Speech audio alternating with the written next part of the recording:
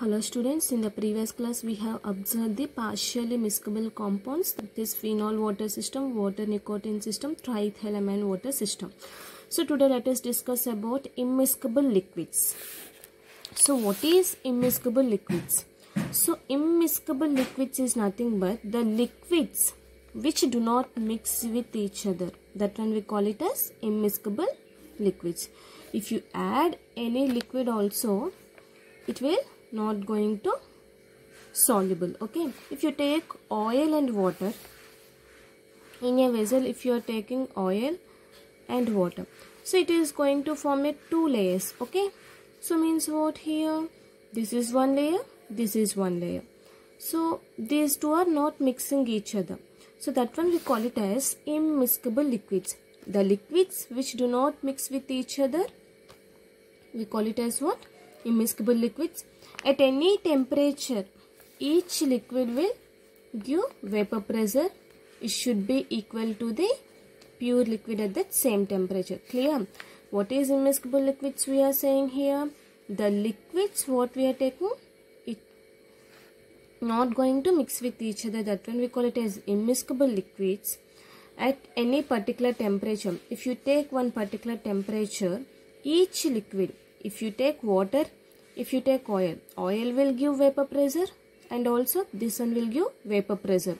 So this should be same of that pure liquid okay? So according to dalton's law. So what is dalton's law? The total exerted by the the total pressure exerted by the vapor phase is equals to the sum of the vapor pressure of two components right? So that indicates what here? This is the total pre vapor pressure of the mixture and these are partial pressure of the individual components. Okay? So what we can say? P will be the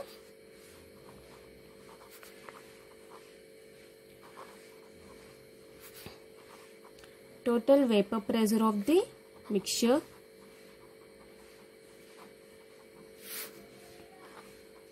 P naught A will be vapor pressure of component A means one liquid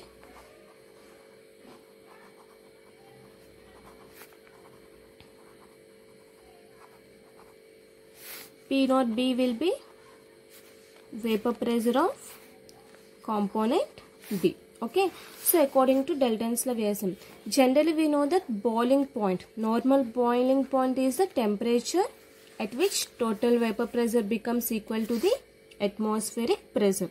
So what we can say here, P naught A plus P naught B is equals to 1 atmosphere okay. So means what we can say here the total vapor pressure of the mixture what we are taking here it is equal to the vapor pressure of the means it should be equal to the what here?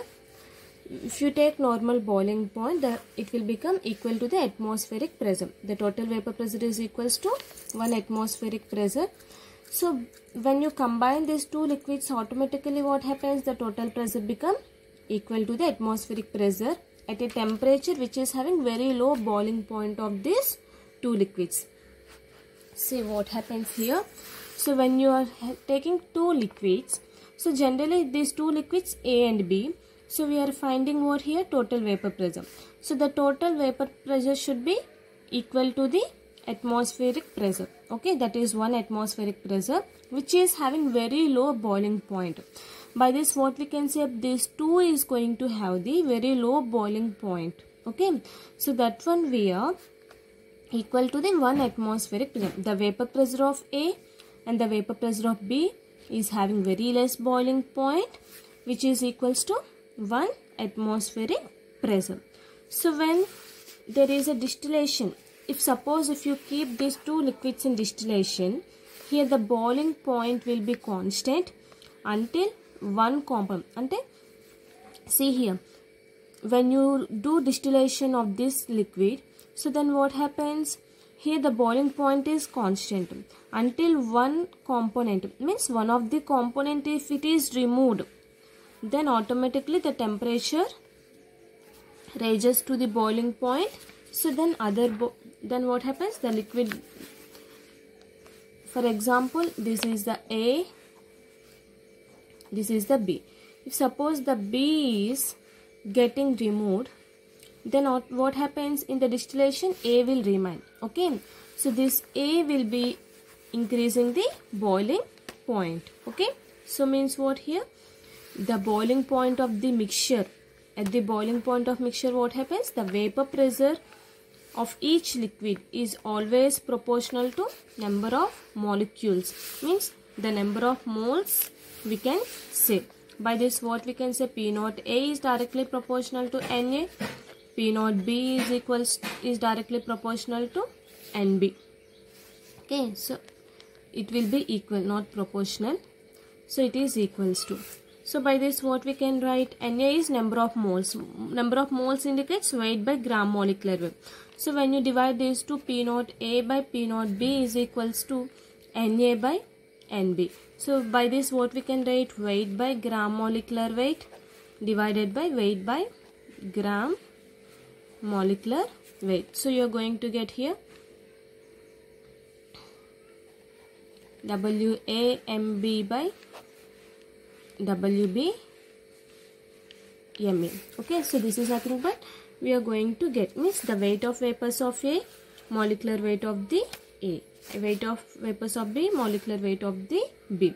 So by this what the ratio of the weights of two components in vapor pressure at the boiling point and the ratio of the weight of two liquids will be distilled will be directly proportional to their molar masses. So this is about immiscible liquids. Once again I am repeating see immiscible liquids is nothing but what here? The immiscible liquids is nothing but here the liquids which do not mix with each other that one we call it as immiscible liquids here we are saying. Okay. So we are taking according to Dalton's law what we can see the total pressure exerted by the vapors is equals to the sum of the partial vapor pressure of the individual components. So P indicates what? Total vapor pressure of the mixture, P naught A indicates vapor pressure of the component A, P naught B is equals vapor pressure of the component B. So here the total vapor pressure what we are taking, it is equal to the 1 atmospheric pressure at boiling point, constant boiling point. Means what? You are taking here individual components. This should be equal to the 1 atmospheric pressure. So here, then what happens here? when you are heating this when you are doing distillation one of the liquid is removing then automatically what happens on heating process the temperature ranges and boiling point also ranges there is no constant boiling point here.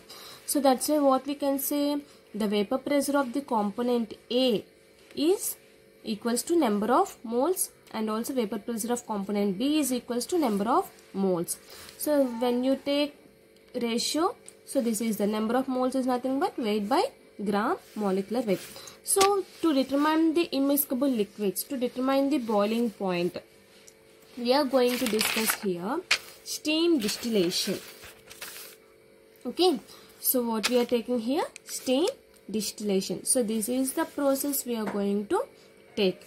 So coming to here steam distillation. So let us see we are taking a one beaker in this we are keeping this is a we call it as safety tube so what is the distillation generally to separate the mixture of the liquids. That when we call it as distillation. So we are going to discuss here steam distillation.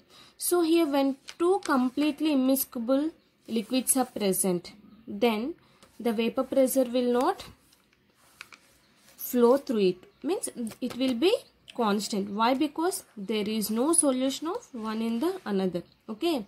So coming to here when you when any steam when a third compound is flowing means each liquid gives the vapor pressure okay? So here two liquids we are having one is organic liquid and water.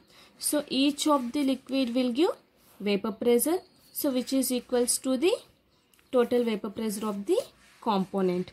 So here what we can say according to immiscible liquids the total vapor pressure of the mixture is equal to the sum of the vapor pressure of the component of liquids at constant temperature. So now in this so I am heating the steam. The steam I have taken here water. In this I have taken organic liquid and water. See here the steam indicates here what? Water. So and also in the other side at round bottom flask I have taken organic liquid water which is attached to a condenser so one is um, fixed to the tap another one is leave to the sink okay so this is the water condenser so then we are getting a organic liquid and water. So now let us see here automatically when mixture is heating. Okay so both mixtures are heating.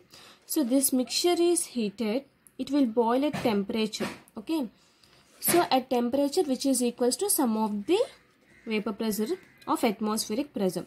So here this one is heating this one is heating. So this vapor pressure what if suppose example let me take an example here. You are boiling hot water. So when you are boiling hot water the vapors are coming out. Okay whenever the vapors are coming out it is equals to what here? Atmospheric pressure. In atmosphere only no it is combining. So by this if you take two liquids means at a constant boiling point what happens? The organic liquid and water both are boiling. So when it is boiling it is equal to the atmospheric pressure. The vapors are going like this to the atmospheric pressure. So by this what we can say? The vapor pressure. The total vapor, vapor pressure should be higher than the each component. Okay? So then boiling point will be what here? Less. The total vapor pressure will be more and individual component vapor pressure will be less and boiling point will be less. So this is mainly we will be going to explain in the presence of steam distillation. Okay? So to purify the organic compounds which is having high boiling point for what we are using steam distillation? To purify the organ means to get pure organic compounds which is having high boiling points. So the steam distillation is used here. Okay? So this is about steam distillation. So here such compounds means which is having uh, temperature very less compared to boiling point. So here we are going to do distillation. So the advantage of steam distillation is that the mainly organic compound is prevented here. Okay? So in steam distillation water is heated and here the water is going to the see here the water is the vapors are passing through this like this and it is passing to the organic mixture clear? When you are heating the steam steam i have taken as a water. When you are heating the vapors are passing through the mixture. So again this vapors what happens? It will mix with the organic liquid and water. And here the each component is again forming a vapors and is producing to a condenser and it is forming as a organic liquid and also water. Okay? So means what? Each component is flowing like this. Means when the mixture of organic liquid water is heated by a presence of steam then it will collected in a separating vessel okay?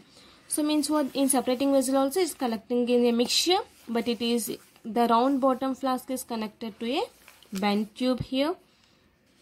The measuring jar whatever the condensed products whatever it is losing the organic liquid and it is collected in the some measuring flask or we can say some conical flask some beaker okay so the liquid insoluble in water can be separated by a separating funnel. So this is nothing but steam distillation. So what is the use of steam distillation here? So the total vapor pressure is having high boiling point and individual components is having very low boiling point. So then what happens? We have to identify that boiling point. For that we are taking steam distillation. So when the steam is passing through the organic mixture, so the automatically the vapors is going to pass and both organic liquid and water. Here the steam is also present. Then we are getting separate mixture organic liquid and water. So then easily we can separate through a separating funnel. So this is about what steam distillation process. So next we are going to have Nernst equation or we can say distribution law. Our next topic is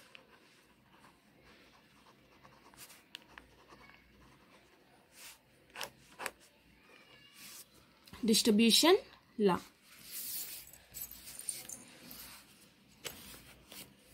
So what is distribution law? Distribution in the name itself we are going to have So what is distribution? So I'll take an example here. Two immiscible liquids. So when you are taking in more amount, what we can say it is a solvent. When you take in less amount, it is a solute. Okay. So here, let me explain. I'm taking in a funnel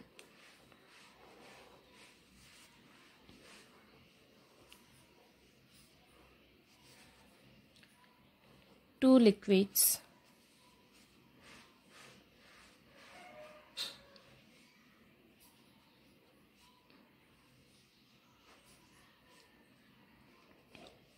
One is water. That is H2 I'm taking. Another liquid I'm taking here.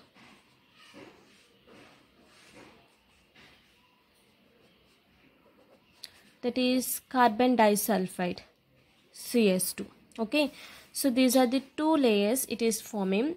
So these two are what here? This is a solvent. This is a solvent. So what happens when I take carbon disulfide and water? It is not going to mix. So it is forming a two layers right? So when it is forming two layers so automatically what happens here? So what, what if you add what means it is going to dissolve here let us take when you consider the concentration this one is the C1 concentration this is a C2 concentration okay? So the solvent CS2 will be the concentration of C1 the solvent water will be the concentration of C2 so here I'm saying distribution law. We have taken two immiscible solvents that is water and carbon disulfide so when you add some iodine okay so it is an equilibrium process at constant temperature. So when you add some iodine so the iodine will pass to the CS2 and also to the water. Clear what I'm saying here? So for example if you have been taken in a vessel oil and water right when you take in oil and water it is forming two layers right? So when you add any maida or any atta powder so when you add in that what happens? It will mix in both oil and also water. That the thing i'm going to explain here. So i have taken carbon disulfide and water so when I'm taking both these, these two are immiscible liquids. So when I have added iodine, it is in the carbon disulfide and also in the water. So which is whether it can go from water to uh, CS2 or it from CS2 to water. So which is in a equilibrium mixture. So means what here? The iodine is distributing the solvents iodine will be a solute here. The solute is distributing the two immiscible solvents. Okay. So when you shake for a long time with water, so then what happens? Iodine distribute itself between water and carbon disulfide. So repeating this experiment, what happens? Different amount of iodine every time if you add it, then what you are going to get? So it is observed that the ratio of concentration of two layers remains constant at given temperature. See here, two layers it is forming. In two layers, I have taken iodine which will distribute itself between these two layers. So when you go on adding iodine, okay, so then what happens? Here the ratio of concentrations will be constant at given temperature. At given temperature means at 25 degrees centigrade if you have taken the temperature the two layers will be constant. And if you take it 30 degrees also the layers will be constant. So by this what we can say? So here the ratio of C1 by C2 means the concentration of iodine in carbon disulfide and the concentration of iodine water will be what happens here? Constant so this one we call it as what here? Distribution law.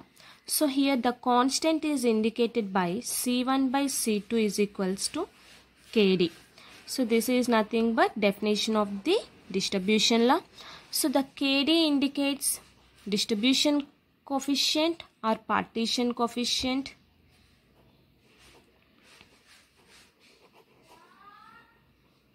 Or we can say partition coefficient. Okay? So by this it is this relation we call it as what here? This relation we call it as Nernst distribution law. Okay? So by this what we can say kd is equals to c1 by c2 so now what by this what we can define what is the distribution law or Nernst distribution law we can say here the distribution law. Means this one we call it as when two means immiscible solvents when two immiscible solvents is in such a way that at equilibrium condition okay? So the solute is distributing itself between the dissolved substance or the dissolved substance distribute itself between two immiscible solvent in contact in such a way that at equilibrium the ratio of concentration of substances in two layers is constant at given temperature. We call it as Nernst distribution law. What we can say here the dissolved substance is indicating what here? Iodine. The dissolved substance is distributing itself the dissolved substance distributes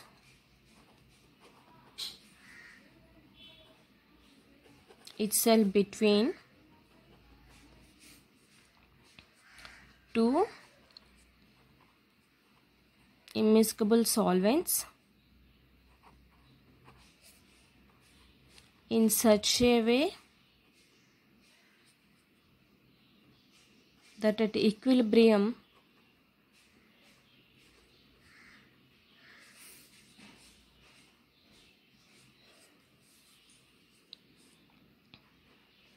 the ratio of concentration of substances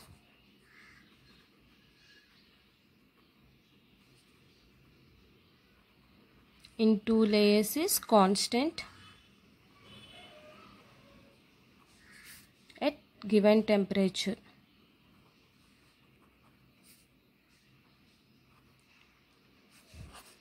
So this is nothing but what here this is nothing but Nernst distribution law.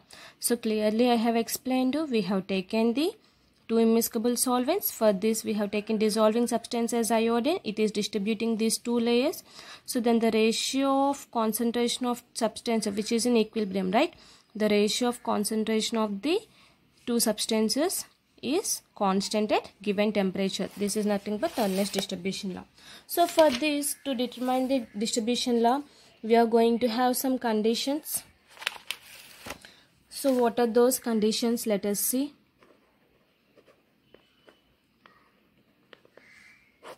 Okay. So the first condition is here. The same molecular species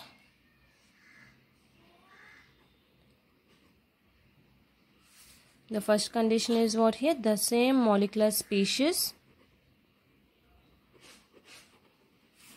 should be present in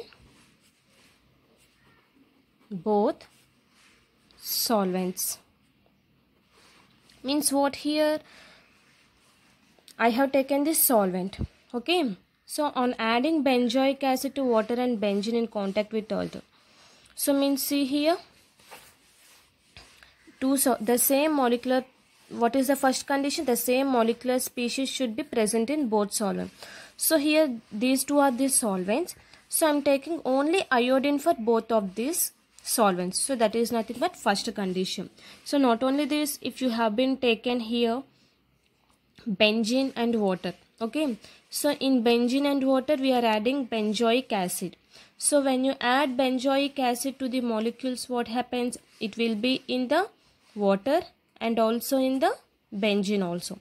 So in benzene the benzoic acid will be going to exist as a dimer single molecule. So here the distribution law is only valid for single molecule in two species. It will not valid for total concentration of benzoic acid in benzene. Okay? So see here. It is going to valid for both. Why? Because it is having an equilibrium.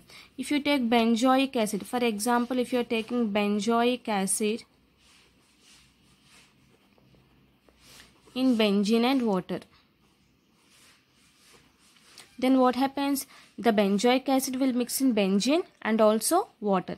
But the water will form a same molecule. But coming to here it is going to form a two molecules. One is benzene another one is benzoic acid like C6H5 COOH it is forming as a dimer like compound. It is going to form. Then this is not going to obey the distribution law okay? So only this one is going to obey distribution law. Next one this is the first condition. Second condition the temperature should be always kept constant here. What is the second condition? The temperature should be kept constant. So if you have been observed here we have taken a 25 degrees at constant temperature that is at 25 degrees. Here the iodine is in equilibrium. At 30 degrees also here it is in equilibrium. So means what here? The temperature is constant. If you are taking this temperature this is the constant. If you are taking this temperature this is the constant. So means what here? The temperature is kept constant. Means what? The solubility of a solute. So when you are taking solute it changes with temperature automatically. So when the solubility of two different solvent is not going to change then the the temperature is not going to change. So by this what if you change the value of partition coefficient then automatically it is going to change. Okay? So this is nothing but here. First one. Next one third condition will be the solution should be dilute so the solution should be dilute is nothing but what here generally when you take higher concentrations. So for example I'm taking here KD, C1 and C2. Okay, so these are the concentrations. If you take more concentration, so the solution, when you're adding a solute molecule to these molecules, so then automatically what happens? It should be dissolved. Okay, so means what? Here the solutions which is same then partition coefficient will be given as like this. Kd is equals to c1 by c2 is equals to s1 by s2 why? Because here one sol solute we are taking here we are taking another solute. The solutants is larger. Okay. So means what? The concentration is larger it will give more deviation because of that reason. So these are the three conditions we are going to have. Now let us see applications of distribution law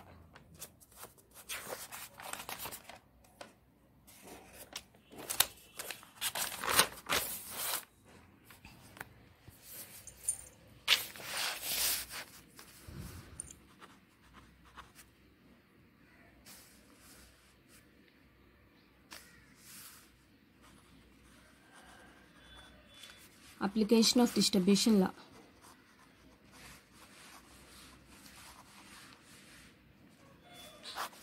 So the first application is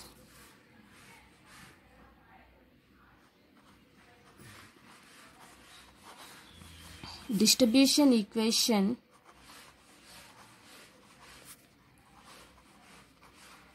when the solute associate. Okay so what is associate? There will be change in the reaction. So now let us take two immiscible liquids. Okay so here we have taken C1 concentration which is having no change and C2 concentration you are taking. Here there is a change. Association is going to happen. Okay? So then what happens? I have taken a solute to this solvent. I have taken these two solvents A and B. Solvents I have taken.